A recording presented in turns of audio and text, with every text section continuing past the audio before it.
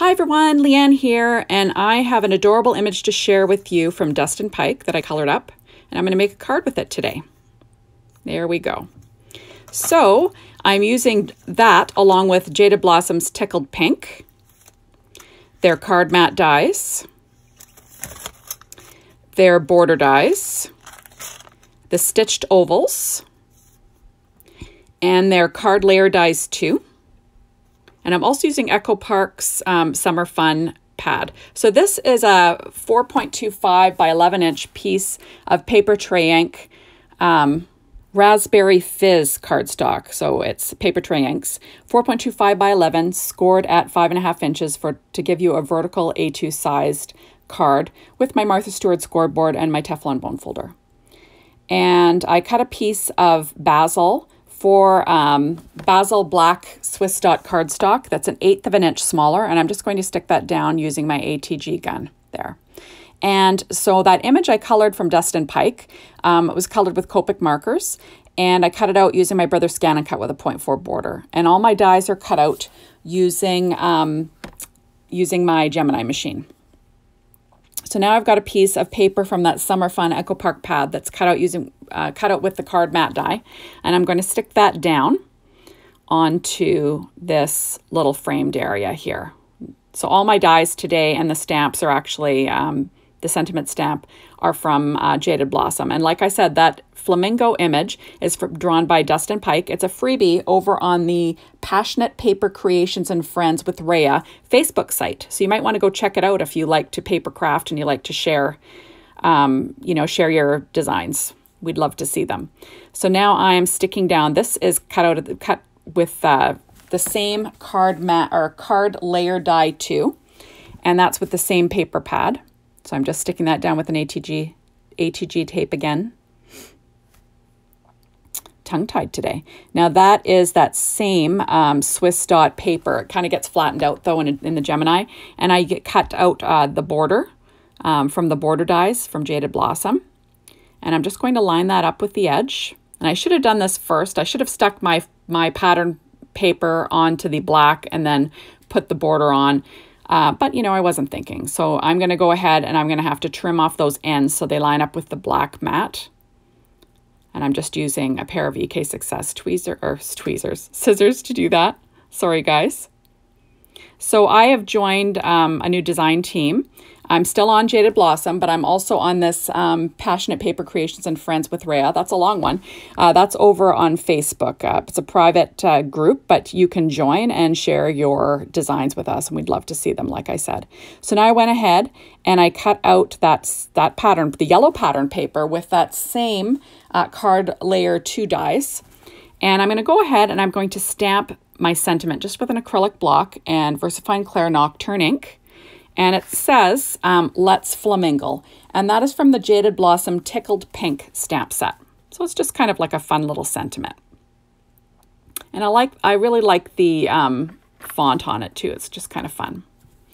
So there we go. And that will be my sentiment for my card. So now I've got my stitched oval that was also cut from that same pad and I'm just going to stick it down to my card uh, little my card little layout here uh, with Simon Says Stamp Craft Tacky Glue. Just sticking that down. There we go. And then I'm going to figure out where that adorable flamingo is going to end up. Now, it was super easy to color. And like I said, it's a freebie um, over on that paper. Uh, I, can't, I, can't, even say it. Passionate Paper Creations and Friends with Rhea Facebook uh, page. And uh, lots of creative people over there. And you know, he graciously um, supported us with this adorable little image to color. And it's a freebie over there that you can print out and color it. And we'd love to see what you make with it because it's such a cutie. So now I am using Stampin' Up! Dimensionals and I'm going to pop this bird up. So it's adorable. So I'm using the normal sized and then the minis. And I also trimmed a little piece off kind of the, the edge of one of them. And I'm going to stick that down on the neck because I hate when my image gets kind of dented in the mail or it doesn't stay all at the same elevation. It's kind of irritating. So I'm just sticking that all down. Cutting them with my um, EK Success uh, scissors because they, they've got a non-stick blade there. And now I went ahead and I peeled those all off because I didn't want to show you that on, on you know, during the video or would have taken me forever because I never have any nails.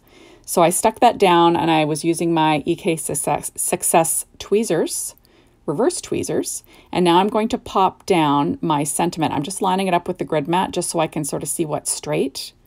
And I'm going to pop that down with my ATG tape also, just to keep that nice and flat.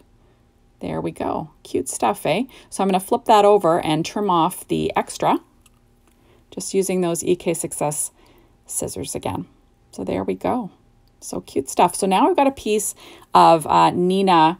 Um, this is just the, the cheap, the 65 uh, pound bright, I think it's called bright white cardstock, cut at four by five and a quarter inches. Um, as for the image that I colored, I always use Neenah Solar White cardstock for those ones. So this is just, like I said, a, a piece of cheap 65 pound um, Neenah Bright White. So that is a strip of that same Bazzill um, Swiss dot black cardstock and I cut it out at one and a quarter inches wide and I'm just going to lay that across the bottom of my card. I'm using the uh, grid mat on that Stampin' Up! pad to get things straight. And then that flamingo paper is from the same um, Summer Fun pad from Echo Park. And I'm just adding that to the center of it because I thought flamingos are perfect, right? And I'm going to add that to the center and that is one inch in width. And I'll just trim off the overhang with pair of scissors here. So I like to add something to the inside of my cards. It makes things more interesting. There we go. So now I'm going to add uh, my sentiment with VersaFine Clair Nocturne ink. And I'm just quickly rubbing the stamp on my hand. I've got an acrylic block. And I'm going to stamp it, and it says Birth, Bird Day Wishes and Flamingo Kisses. So let's flamingo and then Bird Day wishes and flamingo kisses. And then these are a couple of flaming flamingos and I'm just going to add two to the lower right hand corner of this mat. There we go. And then, you know, just for some fun. And that's from that same um, tickled pink stamp set from Jaded Blossom. There we are. So cute stuff so far. There we go. Now I'm going to add some sprinkles. These sprinkles are the Love Assortment from Doodlebug. And I'm going to add those here and there with my pen blade. And I just wanted to say also that all those colors uh, of Copic colors that I used on this flamingo will be listed on my blog in case you want to color them the same way that I did. So they'll all be listed. Now I'm just taking a Spectrum Noir Sparkle pen and I'm just adding some sparkle to those bubbles in that drink. And then I'm going to go ahead and use some glossy accents on the little bubbles just for a little bit of fun. And um, that's in a little cheap bottle from Amazon. I transfer them into that just because it has a, pin, a little pin top and makes it easier.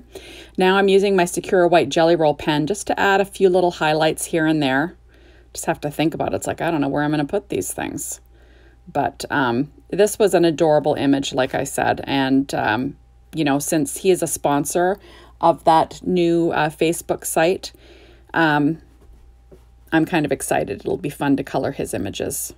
There we are. And I'm just adding a few little highlights. Now, I am not a colorist. It takes me forever. This time I did not show you the coloring because I didn't want to have an hour video. um, but, um, you know, I, I will in the future have some more coloring videos. I just wanted to show you the putting together of the card. And I'm just adding the little highlights. And um, that'll be about it, I think. I'm just going to add a couple more little highlights here and then we'll be done. So how cute is that? I think it turned out great. So thank you so much for stopping by. Be sure to hop on over to my blog and check out everything that I used. Maybe join that Facebook site that I told you about. And we'll see you soon, everyone. Bye.